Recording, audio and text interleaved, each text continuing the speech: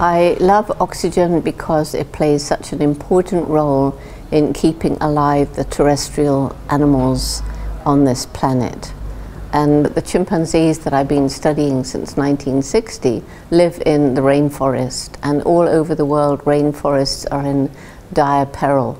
And as we lose our rainforests, so this releases so much CO2, carbon dioxide, into the atmosphere and this is leading to climate change.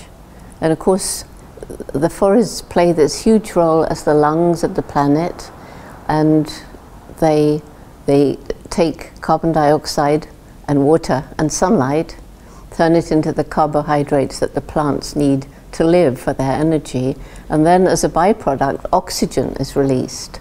And it's that oxygen that is so important for us. I think of oxygen all the time. I'm on the road 300 days a year, and every single plane ride that I have to take starts off with the flight attendants telling us about these, these oxygen masks that will drop down and that we have to pull on them to release the flow of oxygen. And then I learned also that there are oxygen bars, and they're in Japan, but also in California, Las Vegas, and Nevada, I think, in the US.